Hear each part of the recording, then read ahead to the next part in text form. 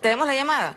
Disculpen, este programa es en vivo, tenemos la llamada, vamos a aprovechar a nuestra invitada, la doctora Laila Taljedín. Laila, muy agradecida de haber aceptado la invitación a nuestro programa y bienvenida. No, agradecida yo, Olga, por, por participar en tu programa. Este, realmente, y es importante en este momento analizar eso que está sucediendo en Afganistán, ¿no? Claro.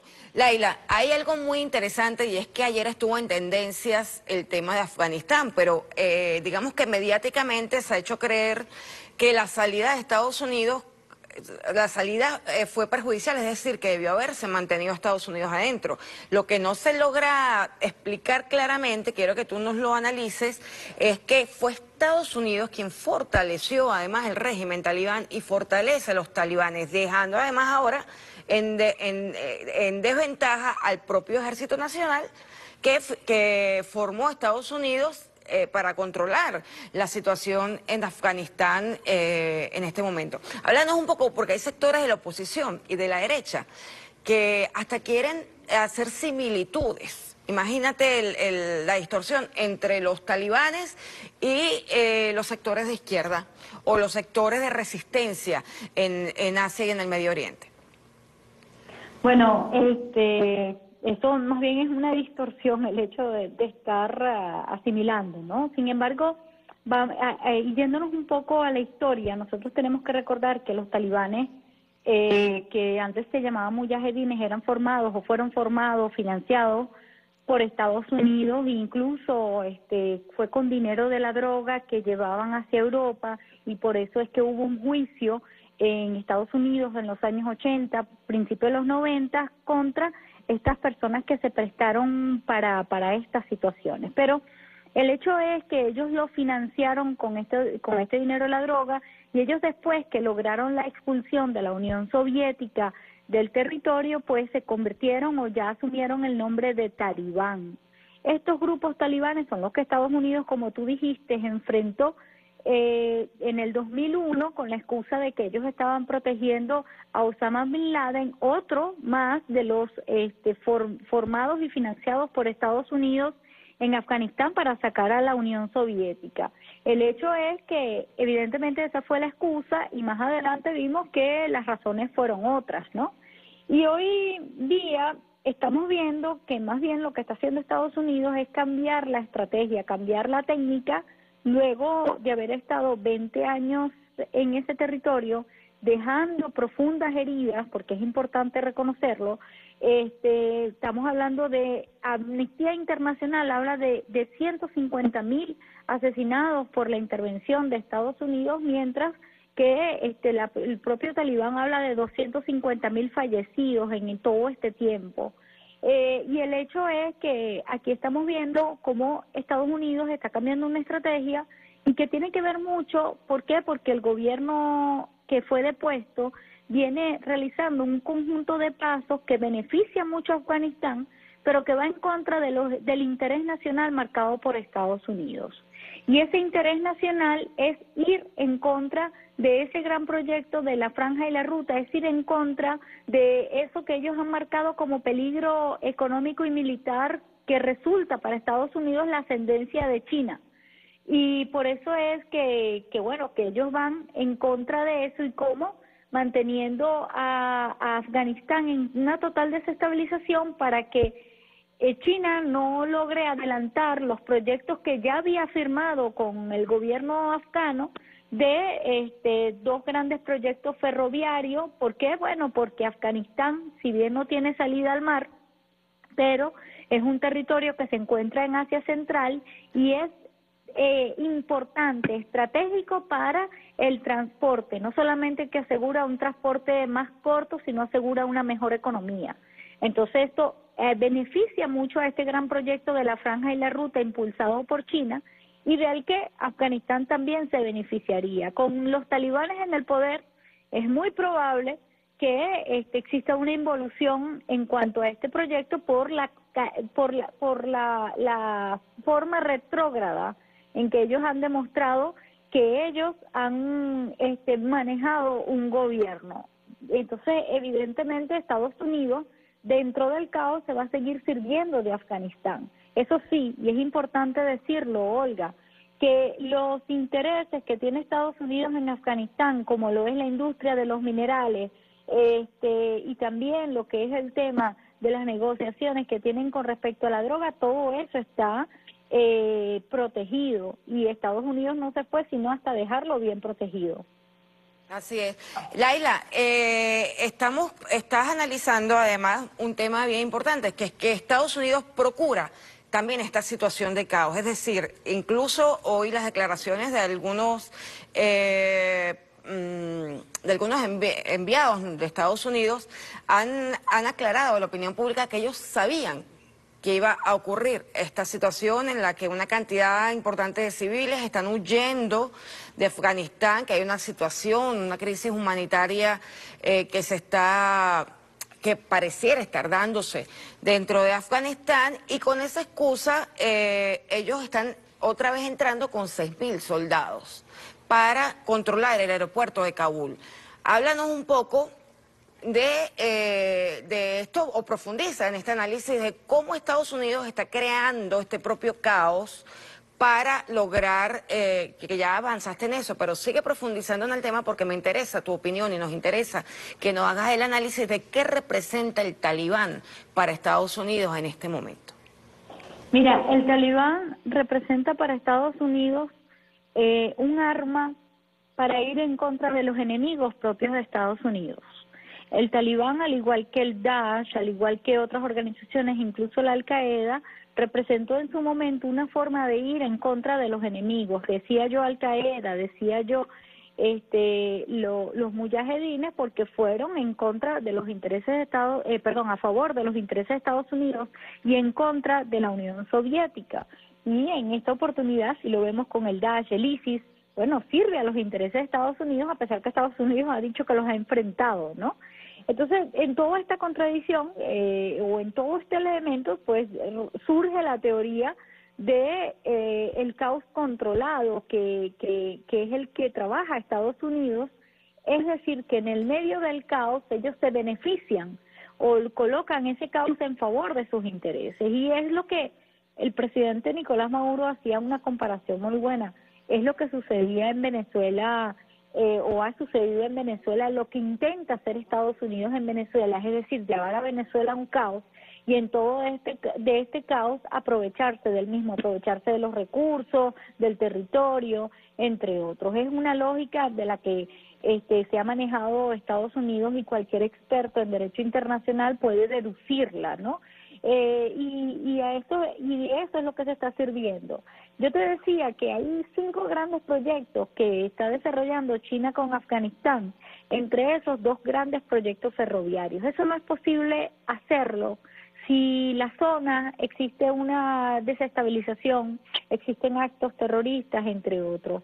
El talibán eh, ellos de alguna manera han, los que han sobrevivido del talibán, aunque nosotros también tenemos que decir que el talibán hay varias vertientes, pero los que han sobrevivido del talibán, ellos mantienen una política de fundamentalista islámica, pero también 20 años ha estado Estados Unidos en ese territorio formando personas, formando grupos armados, apoyando milicias, eh, trabajando con sectas, con tribus, y todo esto genera o, bueno, o de alguna manera profundiza más la, las contradicciones internas que existen en la zona y que ya se ve eh, ahora y bueno, y más adelante se va a ver. Ahora, pero también no hay que subestimar a todas las partes y no es que todas las partes les vino por sorpresa esta, esta actitud de Estados Unidos y esta acción de Estados Unidos. Ya China, ya Rusia, ya incluso Irán, que Irán comparte con, con Afganistán, país que se encuentra en el centro de Asia, comparte como alrededor de 900 kilómetros de frontera. Entonces, este, estos países pues eh, eh, han venido adelantando negociaciones, eh, conversaciones con el, el, el régimen del talibán, los líderes del talibán, para justamente sus intereses no se vean afectados. Ahora, ¿hasta qué punto no se van a ver afectados esos intereses analizando la lógica y la realidad y todas las contradicciones que existen en estos momentos? Eso lo vamos a ver en un futuro, ¿no? Una respuesta a esto que nos estamos, a este interrogante que nos estamos haciendo. Así es. Era interesante, nos vamos a tener que ir a un corte, Laila, pero volvemos contigo eh, para seguir analizando, terminar de analizar en qué crees tú que consisten las eh, conversaciones que hay en este momento, que han habido eh, con, con, Irán, que es país fronterizo, con Afganistán, países como Rusia, países como China, con el régimen talibán. Profundizar un poquito eso para entenderlo. Y también vamos a hablar sobre eh, los diálogos que se están dando, que será tu opinión, entre el gobierno de la República Bolivariana de Venezuela y la plataforma unitaria, que también son grupos eh, similares al talibán en cuanto al tutelaje de Estados Unidos y en cuanto a la naturaleza terrorista de muchas de sus acciones. Nos vamos a un corte y seguimos hablando con la doctora Laila Taljedina.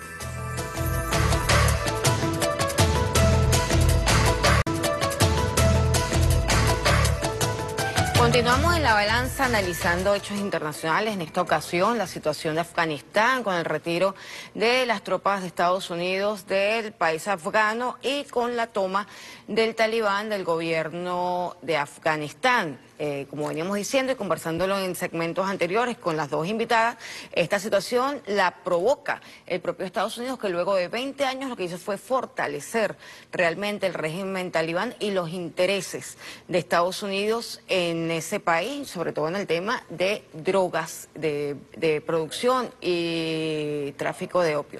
Seguimos con la internacionalista, además investigadora, eh, bella camarada Laila Taljedín. Laila, continuamos contigo en el análisis. Gracias, Olga. Hablábamos, Laila, de algo muy importante, que es entender que ciertamente eh, el talibán de facto tienen un poder dentro de, de Afganistán que fueron que fue consecuencia del financiamiento y de los planes estratégicos de Estados Unidos para la región y que ahora de alguna manera le toca a los vecinos convivir con esta situación y buscar mecanismos para pacificar la región y poder llegar a un punto en el que salga definitivamente Estados Unidos y pueda la región tener posibilidades de, de desarrollo, no solamente en los proyectos de China, que incluyen el paso por Afganistán, sino los proyectos comunes que pueden tener en Asia y en parte del, del mundo árabe, que son también cercanos a la región. Háblanos un poco en qué consiste dialogar con un régimen como el talibán. Bueno, en primer lugar, nosotros tenemos que entender las razones por las cuales muchos países van o, o intentan mantener una, una eh, situación de paz y estabilidad con, con este grupo, con, con Afganistán, entre otros. Eh, Irán, te decía, comparte 900 kilómetros de fronteras con, con Afganistán. Y eh, antes de la intervención de Estados Unidos, pues esas fronteras se vieron un poco afectadas, incluso eh, los ciudadanos que, que eh, practican el chiismo, es decir, que son musulmanes chiitas, en territorio afgano eran perseguidos, incluso asesinados por los talibanes en ese momento. Eh, entre eso y otros actos o otros hechos que ocurrieron que realmente ponían la, la, la, las fronteras en tensión. Esta era una realidad, ¿no? Eh, y que eh, Irán, viendo cómo se estaba desarrollando las cosas, incluso partiendo de mayo del 2020, cuando Donald Trump habla de que se llegó a un acuerdo y anuncia la retirada de Afganistán, entonces ahí ya ellos avisoraron cuál es la, la nueva estrategia. Y la nueva estrategia es esa del caos, ¿no? Un caos controlado, es decir, sin perder los intereses económicos que tiene Estados Unidos en la zona. Y esos intereses este, son lo que estamos viendo, pero también ganando otros intereses que tiene Estados Unidos, es la desestabilización para evitar el avance de cualquier otro proyecto. China, Rusia e Irán han llegado a tener varias reuniones en lo que va del año pasado y este año con estos grupos, incluso desen cuenta que entre las embajadas que salen del territorio afgano ninguna ha sido estos países que acabo de nombrar, sino es que ellos se mantienen en los mismos. Y esto es sumamente importante porque de alguna manera se está viendo allí que este, esos, esos diálogos que ellos han tenido con ellos este, va a tener fruto. Ahora, ¿qué es lo que no se sabe que va a tener fruto? El proceso de estabilización del país el enfrentamiento entre, entre, entre el talibán y las otras tribus y sectas que existen en esos países. ¿Cómo se van a comportar todos aquellos que fueron formados por Estados Unidos y que fueron abandonados en el terreno por parte de Estados Unidos? Todo eso, todo eso nosotros lo tenemos que considerar para el momento de este, ver lo que va a suceder. Mira, Olga, tú ahorita dijiste algo que es importante que, que quienes nos escuchan eh, lo sepan, ¿no? Y es el tema de la droga. Yo les había dicho, si bien Afganistán se encuentra en Asia Central y es un, territorio estratégico, pues ese país no tiene salida al mar y solamente tiene una salida terrestre y aérea. Pues resulta, y de acuerdo a lo que ha dicho las Naciones Unidas, que el 95% de las drogas, de la heroína que entra a Europa viene de Afganistán, el 90% que entra a Canadá viene de Afganistán. ¿Quiénes controlan el espacio aéreo de ese país? Y quienes también lo siguen controlando, porque nosotros no podemos decir que Estados Unidos ya dejó de controlar ciertas zonas eh, militares de ese país, ¿no? Ahí hay este, todavía entes dentro del territorio de, de Afganistán que están preservando los intereses de Estados Unidos allí y eso también tiene mucho que ver con los acuerdos que ha tenido en todo este tiempo Estados Unidos con estos grupos. Así Ahorita en este momento, Leila, tú lo mencionas, uno de los objetivos militares de Estados Unidos para garantizar su control en Afganistán es precisamente el aeropuerto de Kabul, que es el principal aeropuerto de Afganistán. Esto tendría que ver con el tema de garantizar eh, que la ruta que tienen del opio y de la heroína no se vea afectado. Sí, bueno, y es evidente. Mira, cuando estaba antes de la intervención de Estados Unidos en Afganistán, había una producción relativa de, del opio en ese territorio afgano. Luego de la intervención, ya no es que solamente que producen el opio, el opio, sino que producen el producto terminado, es decir, que toda la cadena de producción de la heroína se instaló en la propia Afganistán y, y pasó a ser exportado. Y eso es interesante analizarlo entendiendo la política que ha asumido Estados Unidos en este en todo este tiempo que es de protección a aquellos grupos, aquellos regímenes eh, y de trabajo conjunto con aquellos grupos y aquellos regímenes que este, están en el negocio de la droga. Y aquí lo tenemos cerquita en lo, con lo que sucede en Colombia, donde eh, Colombia es el mayor productor mundial de cocaína y cuál es el país que más el mayor receptor de Estados Unidos y de dónde sale eh, este esta droga del territorio colombiano. Entonces, eh, es un poco similar a esto que estaba sucediendo en Colombia. Es bueno señalar esto nuevamente. Laila es muy eh, interesante y es que los dos países que le garantizan el noventa y tanto por ciento de la droga a Europa y Estados Unidos son Colombia y Afganistán. Ambos países controlados económicamente y políticamente por Estados Unidos y por su, digamos, por su, por sus tutelados, ¿no? En este caso. Entonces queda muy claro y esto no es un comentario eh, que no tiene fundamento. Cualquier persona puede verificar que lo que está diciendo la doctora Laila está plasmado en la ONU, en las diferentes comisiones que tratan el tema, especialmente aquella que trata el tema de narcotráfico, que evalúa el impacto del narcotráfico y evalúa cuáles son los comportamientos en materia de, tráfico ilícito eh, de sustancias a nivel internacional.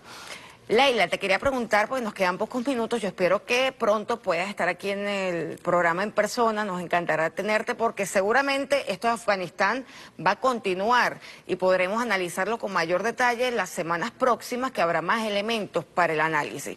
Pero ahora te pregunto, esta situación de, del talibán que amerita que los eh, países vecinos, como tú lo haya, como tú lo has mencionado, lleguen a un a unas conversaciones no implica que no se que estos países no rechacen absolutamente los actos terroristas y el comportamiento tutelado de grupos dentro de la región, tutelado a intereses extranjeros. Lo mismo ocurre en Venezuela.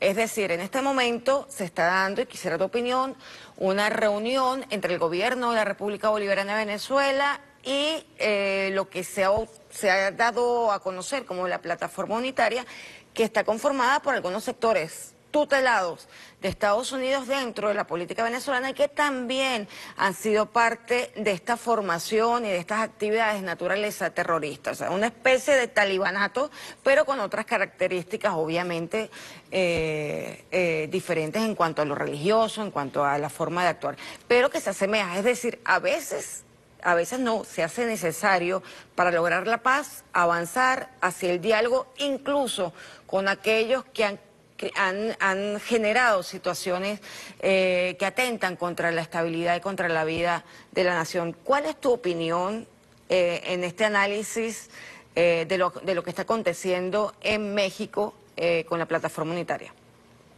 Bueno, yo creo que, que como venezolanos pues tenemos que felicitarnos por este avance eh, entendiendo, bueno, que lo estamos haciendo con una realidad que siempre nos ha perseguido, porque si nosotros vemos este un poco lo que ha sucedido en todas las mesas de negociación, de diálogo que hemos instalado, pues este cada vez la misma se instala cuando la derecha tiene una derrota, pero cuando siente que hay una oportunidad, la misma abandona la mesa de diálogo y, nueva, y nuevamente se va a la violencia.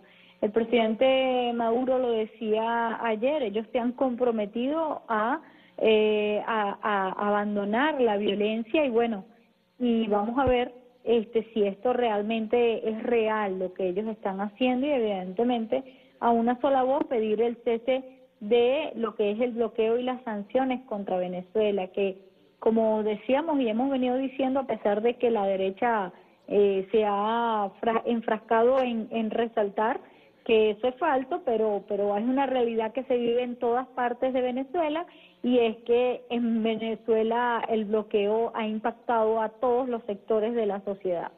Entonces, este, yo creo que es un gran avance, Olga, lo que está pasando, que es sumamente importante, este, que ojalá que la misma tenga una, una, un, un acuerdo feliz, podemos decir, un acuerdo de ambas partes porque eso es lo que necesitamos todos los venezolanos. Por eso es que vemos muy responsablemente al presidente Nicolás Maduro decir, si es con el diablo que me tengo que sentar, pues me siento, tal como lo decía el comandante Hugo Chávez. Y eso es el papel de un líder, eso es el papel de un comandante de una nación, porque este, justamente el objetivo es evitar que lleven a la nación a un caos, evitar que lleven a la nación a un, a un sistema de enfrentamiento de tal, del cual solo se beneficiaría intereses foráneos porque ni siquiera ninguno de los internos y sería bueno siempre, siempre que la oposición se viera en ese espejo de Afganistán, en ese espejo de aquellas personas que abandonó a Estados Unidos en ese territorio, en ese espejo de esas personas que colaboraron con Estados Unidos y después quedaron abandonados y ya no sabe qué va a pasar con sus vidas. Entonces eso es importante, ¿no? Así es. Yo creo que ha sido, aunque una, un espacio corto para compartir tanto con la diputada Elena Medina como con la doctora Laila Taljedín, ha sido un espacio importante para escuchar reflexiones de dos extraordinarias analistas de la política internacional, de la geopolítica. Laila, gracias por habernos acompañado, gracias por tu opinión eh, y por tus aclaratorias. Es cierto, hasta con el diablo hay que eh, dialogar cuando se trata de conservar la unidad territorial, la integridad territorial y e ir avanzando hacia la paz. Hay elementos allí que son eh, de elogiar, en el, bueno, muchísimos elementos en el comportamiento de quienes han asumido eh, la tarea de, de tener que dialogar con el diablo. Es decir, todo mi respeto para quienes llevan adelante estas tareas porque sé que debe ser un poco complicado convencer a quien está fuera de la razón de que debe volver a la razón. Gracias Laida, gracias a todos los que nos han acompañado en el día de hoy y esperamos tenerte pronto por acá. Nos despedimos, nos despedimos, un gran abrazo para todos y por favor sigamos cuidándonos que el COVID-19 todavía eh, ha estado haciendo estragos a nivel mundial y nosotros tenemos que seguir avanzando en esta batalla permanente contra el COVID-19. Cuidémonos, mantengamos las medidas de bioseguridad, cuidemos a nuestra familia, a nuestra comunidad y tengamos muchísima conciencia. Nos vemos en el próximo programa.